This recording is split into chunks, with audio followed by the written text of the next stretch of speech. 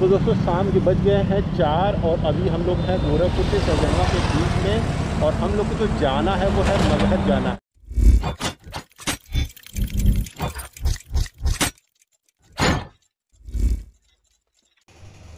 तो बेसिकली दोस्तों, आज है 10 मार्च 2021 और जो दिन है वो है बुधवार। और अभी हम लोग जो जाने वाले हैं, वो हम लोग जा रहे हैं गोरखपुर से मगहर। गोरखपुर से मगहर का डिस्टेंस जो है एग्जैक्ट मैप से तो नहीं लेकिन फिर भी 35 किलोमीटर के आसपास होगा।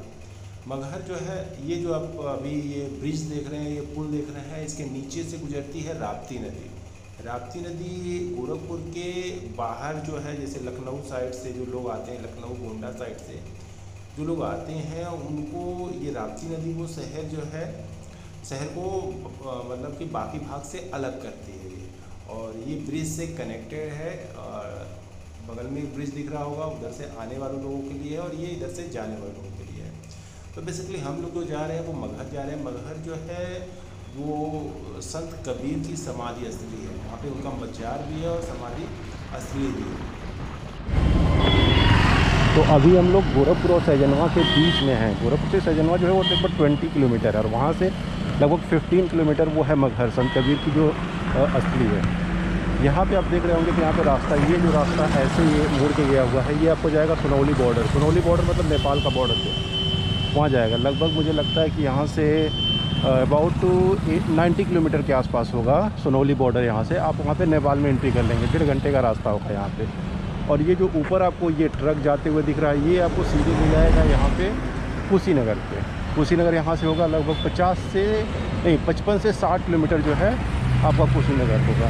आप ऐसे यहाँ से हो के आप इसके हाईवे पे चढ़ के भी सोनौली बॉर्डर जा सकते हैं, या फिर यहाँ से भी आप ऊपर जो है सोनौली बॉर्डर के लिए पकड़ सकते हैं। हम लोग को चलना है सीधे। सीधे हम लोग जाऊँ जाएँगे तो ये जो लखनऊ वाला हाईवे है इस पर हम लोग चलेंगे नेशनल हाईवे पे चलेंगे। आगे जो है, लगभग चार पाँच किलोमीटर पे सहजनवा पड़ेगा और फिर उसके आगे हम लोग का, जहाँ हम लोग का डेस्टिनेशन है, वो मगहर पड़ेगा। मगहर जाने में यहाँ से जो लगने वाले हैं वो 10 से 15 मिनट लगने वाले हैं यहाँ पे। तो आइए देखते हैं वहाँ चल के वहाँ का कैसा नज़ारा और वहाँ पे क्या स्पेशल है। वहाँ पे जाने के बाद ही पता चलेगा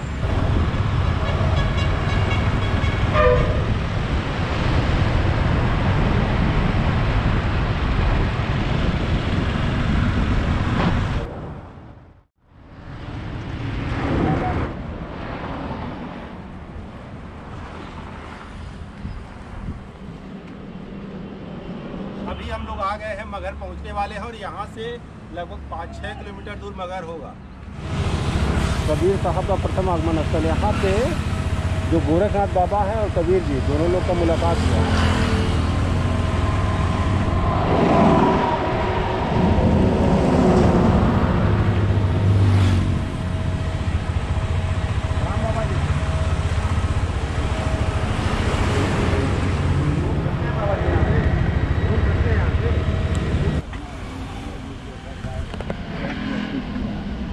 कबीर साहब और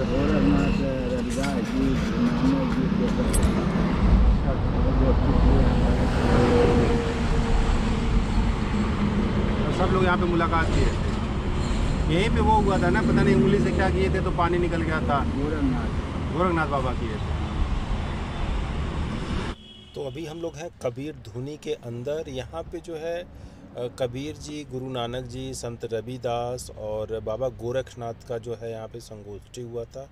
यहाँ पे उन लोगों ने आपस में जो है विचार विमर्श किए थे। तो इसका नाम जो है कबीर धुनी है और ये यहाँ पे एक कुआँ है और ये संत मिलन स्थल कबीर धुनी।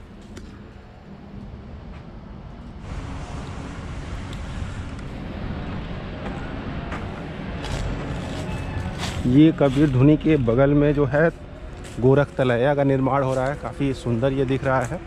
यहाँ का जो इतिहास है वो ये है कि यहाँ पे जो गुरु गोरखनाथ से बाकी संत कबीर थे और कुछ महंत थे, उन लोगों को यहाँ पे आपस में संगोष्ठी हुई थी, मुलाकात हुई थी। अभी हिस्ट्री जो है हम लोग बाबा जी यहाँ के जो पुजारी हैं, उनसे पूछते हैं कैसे क्या है, लेकिन जगह जो है काफ़ी सुंदर है। यहाँ पे कुछ विश्राम स्थल जैसा बन रहा है। ये अभी हम लोग मेन मंदिर पे नहीं है मेन उनके स्थली पे नहीं है। अभी उसके पहले, थोड़ा पहले जो है, यहाँ पे ये धुनी बनी हुई है, जहाँ पे हम लोग टहल रहे हैं। आइए देखते हैं पुजारी जी क्या बताते हैं इसका इतिहास। और ये हम लोग का सफ़र का साथी, हम लोग का K T M three ninety adventure चलते हैं, पहले बाबा जी के पास सुनते हैं उनके मुँह से कि कैसे यहाँ का क्या इतिहास और इस जो नहरबाना बारह साल के सूखा में कबीर साहब रविदास जी गोरखनाथ गुरु नानक जी केसा साहब यहाँ छोट के झोपड़ी केसा साहब राज के रहे यहाँ पर सब लोग आए पर हम यहीं पर आए हैं पास से कबीर साहब गोरखनाथ गोरखपुर से आए हैं वो हैं यहाँ गोरखनाथ बाबा गोरखपुर से आए। हाँ, सब लोग यहीं पर अपना वार्ता किए हैं। और अपना अपना ताकत दिखाए हैं सब। गोरखनाथ जी का जौन है तन त्रिशूल यहाँ है सब संहत किए हैं साहब पच्चीस त्रिशूल पर बैठ करके हाँ। और वहाँ बुलाने लगे साहब को तो वही लेके आकाश में चले गए। कहाँ है त्रिशूल बाबा जी गुरुनाथ जी का? अच्छा अंदर वो जो धुनी बनी हुई उसके अंदर है। वो खुलता नहीं है क्या वो? कहाँ है? तो खोल दीजिए प्लीज़ आइए। तो यहाँ पे जो गोरखनाथ बाबा थे, वो त्रिशूल लेके चलते थे अपने साथ। तो उनका जो त्रिशूल है, यहाँ पे हम लोग देखेंगे। अच्छा हाँ। हाँ। हाँ। यहाँ कुआँ भी है क्या बात है। गुरु नानक जी का कुआँ है। बहुत गहरा है यार। वाह।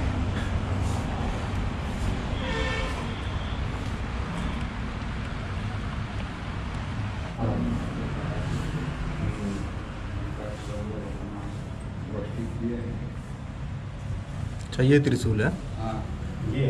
हाँ साहब के जवानी का है एक सौ उन्नीस बरस की उम्र में कबीर साहब यहाँ है एक सौ उन्नीस वर्ष की उम्र में उनका एक सौ उन्नीस वर्ष। हाँ, यहाँ पर आए हैं। अच्छा।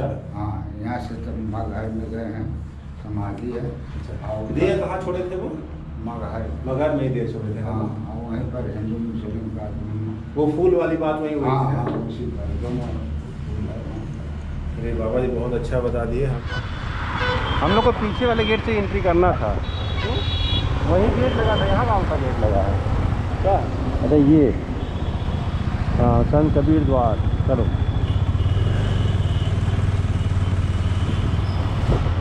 पुलिस चौकी, मगहर और है।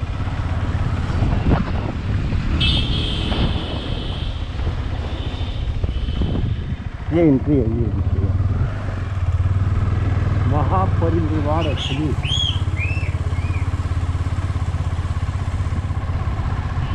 वैसे वैसे हम निकल सकते हैं बाहर। इधर से नहीं जाएँगे ऐसे भी जा सकते हो और वैसे रास्ता गया। वो पुल से भी जा सकते हैं। हाँ इधर अंदर से भी रास्ता ऐसे गया है बाहर।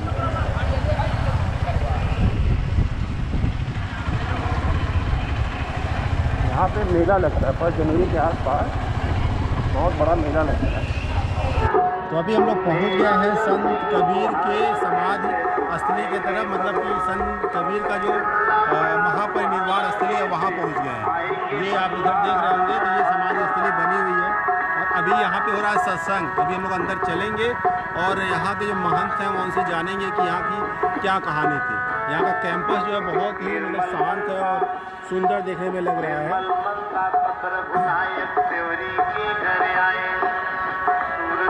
जीना खराब होगा तो जीना खराब होगा खान पान भी गड़बड़ हो जाएगा तो अभी हम लोग संत कबीर के जो मजार स्थली है समाधि स्थली है उसके तरफ़ जा रहे हैं और सामने जो आपको दिख रहा है ये सदगुरु कबीर समाधि स्थली है मंदिर मगहर धाम।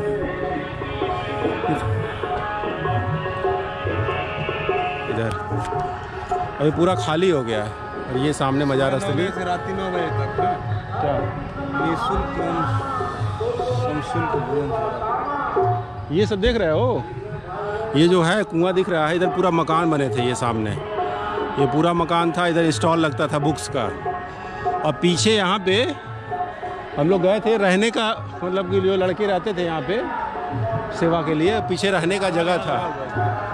अरे ऐसा नहीं, पूरा घर बना हुआ था अच्छे से। ये यहाँ का ये जो कुआँ है, काफ़ी गहरा है ये। देखिए।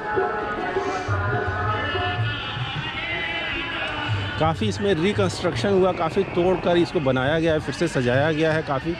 मतलब ये भरा भरा था, लोग काफ़ी रहते थे। यहाँ पे ये जो बुक्स का स्टॉल लगा हुआ है, कबीर के जीवन से, गुरु नानक के जीवन से संबंधित। बीजक बीजक बहुत फ़ेमस है।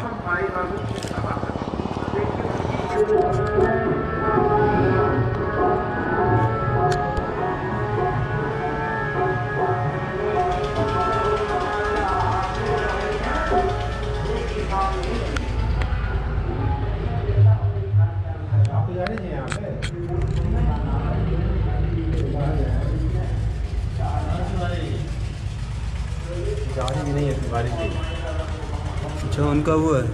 क्या? साहब सतनाम वो बजाने वाले क्या? सारंगी बोलते हैं क्या बोलते हैं उसको? नहीं हैं। ये ये जो मेन इनका जो मंदिर है स्थली जो है वहाँ का ये नज़ारा है। अगर आप इधर आ रहे हैं तो इधर ज़रूर आएँ यहाँ दर्शन ज़रूर करें। काफ़ी पुराना ये मंदिर है। यहाँ पे वो संवत 1575 डेट लिखा है कब अभी यहाँ पे हमको पुजारी जी नहीं मिले इसलिए बहुत ज़्यादा हम लोग को नॉलेज नहीं मिल पाएगी इसका। आ, अभी आते हैं तो हम लोग मुलाकात करके फिर यहाँ का देखते हैं कैसे क्या है। और ये अभी अभी ये जो देख रहे हैं वो उनका समाधि असली है। एक्चुअली यहाँ का जो इंसिडेंट हुआ था शायद आपको पता नहीं मैं बता देता हूँ कि जो संत कबीर थे कई लोगों का मानना था कि संत कबीर जो थे वो हिंदू थे, कुछ लोगों का मानना था कि संत कबीर जो थे वो मुस्लिम थे।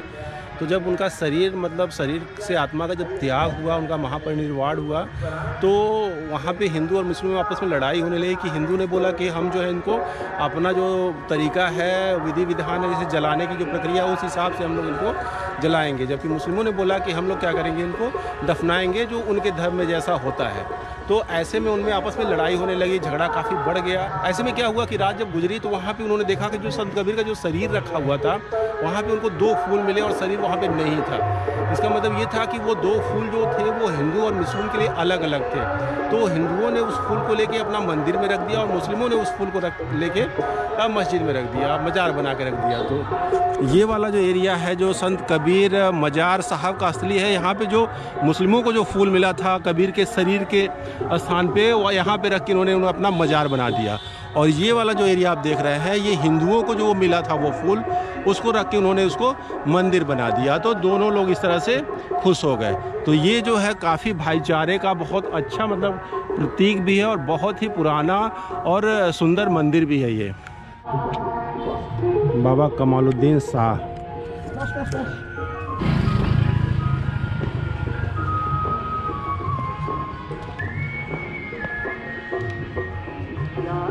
देख रहे हैं कि ये कबीर साहब की मज़ार है और वो कबीर साहब की समाधि है।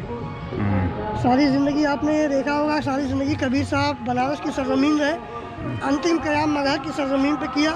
दो से ढाई साल तक रहे उसके बाद ये पर्दा कर गए। पर्दा करने के बाद ये तो आपने सुना ही होगा कि दोनों धर्मों के हिस्से जो है, हिसाब से एक समाधि बनी है और एक जो है पूरा की तरफ़ मज़ार बनी है सदगुरु कबीर साहब और कबीर साहब किसी धर्म के अनुयायी नहीं थे, वो मानव धर्म के अनुयायी थे, इसलिए उनके पर्दा करने के बाद दोनों धर्मों के लोग, हिंदू और मुस्लिम, दोनों अपनी अपनी समाधि और मज़ार बना के अपने आस्था के हिसाब से पूजा करते हैं। ये मगहर की वो सरजमीन है यहाँ एक ही प्रांगण में एक तरफ़ मज़ार भी है, एक तरफ़ समाज भी है। और हर धर्म, हर जात के लोग यहाँ मानवता के धर्म से हिसाब से आते हैं।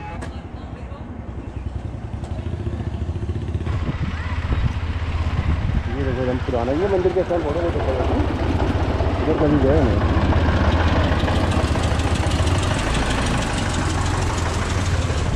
मंदिर नहीं ये घाट है। मंदिर है एक दूसरे। ये घाट है। ये कैसा है?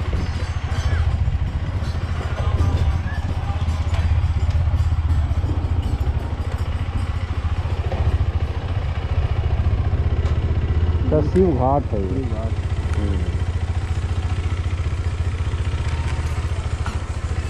तो ये है शिव घाट भूतपूर्व प्रधानाचार्य शिव प्रसाद गुप्ता की स्मृति में शिव घाट। अच्छा हमको लगा भगवान शिव के नाम पे शिव घाट नाम पड़ा है। सत्य साहब।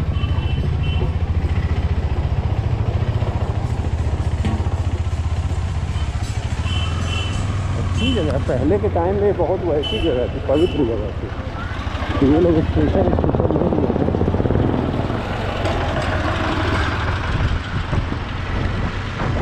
के लिए, टहलने के लिए काफ़ी सुंदर बना हुआ है। ये निर्माणाधीन शोध स्थली ये कबीर शोध स्थली है, पर्यटन विभाग के तहत